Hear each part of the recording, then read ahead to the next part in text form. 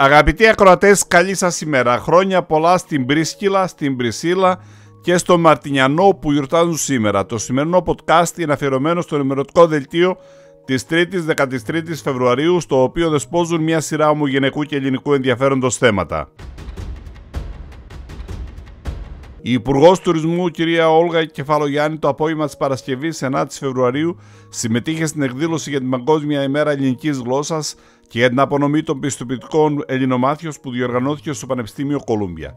Η κυρία Κεφαλογιάννη συνεχάρει τους μαθητές, τους εκπαιδευτικούς και τους γονείς και εστίασε την προσοχή της στη σπουδαιότητα της εκμάθησης της ελληνικής γλώσσας.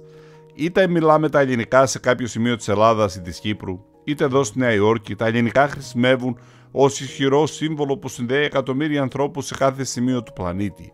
Βεβαίως, η ελληνική γλώσσα παίζει ζωντανό ρόλο για τη χώρα μας και στον τομέα του τουρισμού, καθώς αποτελεί καταρχάς αναπόσπαστο στοιχείο αυθεντικότητας, στοιχείο της ελληνικής ταυτότητας και λειτουργεί ως πύλη για τους πολιτιστικούς θησαυρούς της Ελλάδας, επισήμανε η κυρία Κεφαλογιάννη. Οι Έλληνες χορευτές της Νέας Ιερσέης εμφανίστηκαν σε μια sold out παράσταση στο γκαλά της 50ης επαιτίου του στο βράδυ του Σαββάτου 3 Φεβρουαρίου. Η γιορτή συγκέντρωσε περίπου πάνω από 70 χορευτές στο κατάμεστο Pines Manor στην πόλη Edison της Νέας Ιερσέης. Αρκετοί από τους παλαιότερους χορευτές συμμετείχαν στην παράσταση, ενώ πολλοί ήταν οι απόφοιτοι που βρίσκονταν στο κοινό των 500 και πλέον ατόμων. Το ελληνικό συγκρότημα Ένταση έπαιζε ζωντανή μουσική. Όλα τα έσοδα από την εκδήλωση θα διατεθούν για να στηρίξουν την προσπάθεια του οργανισμού για τη διατήρηση των λαϊκών χορευτικών εθήμων της Ελλάδας και την διαιώνιση της ελληνικής κληρονομιάς στην Αμερική. Η απόφοιτη του Λυκείου του Αγίου Δημητρίου Αστορίας των έτων 2003 έως 2018 το βράδυ της Παρασκευής 26 Ιανουαρίου επέστρεψαν στο πολιτιστικό κέντρο Πέτρος Πατρίδης για να διδάξουν στους μαθητές του Λυκείου και δι στους τελειόφοιτους πόσο προνομιούχοι είναι που φοιτούν στο Λύκειο της καρδιάς τους. Στο Λύκειο που έλαβαν στερεές βάσεις και από όπου άνοιξαν τα φτερά τους για τα καλύτερα πανεπιστήμια των ΗΠΑ και έχουν ήδη ξεκινήσει μια λαμπρή επαγγελματική σταδιοδρομία. Αν και σήμερα είναι το 2024 πολλοί εξ αυτών είναι καθηγητές, επιχειρηματίες, επαγγελματίες, αρχιτέκτονες, πολιοδόμοι, δικηγόροι και γιατροί, εν τούτης, τόνισαν ότι οι επιτυχίες τους οφείλονται στο σχολείο και στην κοινότητα του Δημητρίου Αστορίας, όπου πέρασαν τα παιδικά και εφηβικά τους χρόνια. Η όραση αποτελεί παραδοσιακά το κύριο αισθητήριο μέσο για την κατανόηση του παρελθόντος. Οι αρχαιολόγοι βλέπουν τα μνημεία και προσπαθούν να βγάλουν συμπεράσματα. Τα τελευταία χρόνια, ωστόσο, νέοι μέθοδοι και θεωρητικές προσεγγίσεις υπόσχονται να αποκαλύψουν ακόμη περισσότερα μέσα από άλλες αισθήσεις, όπως την ακοή. Ένα τέτοιο παράδειγμα είναι η έρευνα που πρόσφατα δημοσιεύτηκε στο ηλεκτρονικό περιοδικό Open Archaeology με τίτλο «Χρησιμοποιώντας την ψυχοακουστική στην αρχαιολογία των αισθήσεων, εξελίξεις στο αρχαίο ιερό του Διός, στολή και όρος» της Πάμελα Τζόρνταν, αρχιτέκτονας, υποψήφιας διδάκτορας στο Πανεπιστήμιο του Άμστερντα.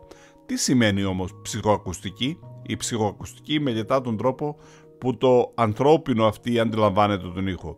Έρχεται σε αντίθεση με την ακουστική που είναι η μελέτη του τρόπου με τον οποίο ο ήχος κινείται σε ένα περιβάλλον, αλλά και με την ανθρώπινη ερμηνεία του ήχου, ότι δηλαδή κάνει ο εγκέφαλός μας στην αρχή και η λήψη ενός ήχου. Η δόκτωρ Ελένη Ανδρεοπούλου είναι Ελληνοαμερικανίδα τακτική καθηγήτρια ιατρική στο Πανεπιστήμιο Κορνέλ και επιμελήτρια παθολογίας με ειδίκευση στην ογκολογία.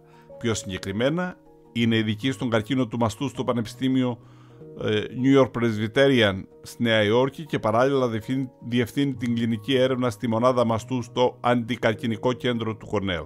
Η κυρία Ανδρεοπούλου είχε γεννηθεί στην Αμερική, αλλά μεγάλο στην Ελλάδα, στο Λονδίνο και στη Νέα Υόρκη που ζει τα τελευταία 25 χρόνια. Η οικογένειά της και η ίδια είναι ενεργά μέλη της ελληνοαμερικανικής κοινότητας με δεσμούς που χρονολογούνται πάνω από πάνω έναν αιώνα αφού ο παππούς της έφτασε ως μετανάστης στη ΣΥΠΑ το 1910.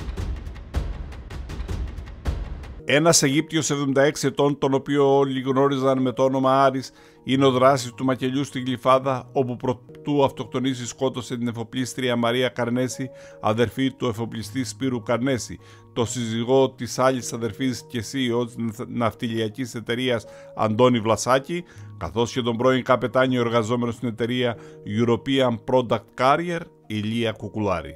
Σύμφωνα με τις πρώτες πληροφορίες, ο Αιγύπτιος ήταν έμπιστο πρόσωπο του εφοπλιστή Καρνέση για περισσότερα από 35 χρόνια και του είχε διαθέσει και ένα σπιτάκι για να μείνει. Ήταν επιστάτης στο χτήμα που διέθετε ο εφοπλιστής στους πεταλιούς, ενώ ήταν στο μισθολόγιο της ναυτιλιακής εταιρείας. Αυτά και πολλά άλλα θέματα περιλαμβάνονται στο σημερινό ενημερωτικό δελτίο. Εάν φίλοι ακροατές δεν λαμβάνετε το δελτίο, κάντε κλικ στο www.anamnesis.net και εγγραφείτε για να το λαμβάνετε καθημερινά στο ηλεκτρονικό σας ταχυδρομείο στις 9 προ-μεσημβρίας ώρα Νέας Υόρκης ή 4 μετά μεσημβρία ώρα Ελλάδας. Το σημερινό podcast προσέφεραν η Alma Bank, Atlantic Bank, Condos Foods, Megas Euros και United Brothers Fruit Market. Το podcast των αναμνήσεων μπορείτε να το παρακολουθήσετε στο Spotify, καθώς επίσης και σε όλες τις πλατφόρμες που προσφέρουν podcast. Καλή σας ημέρα!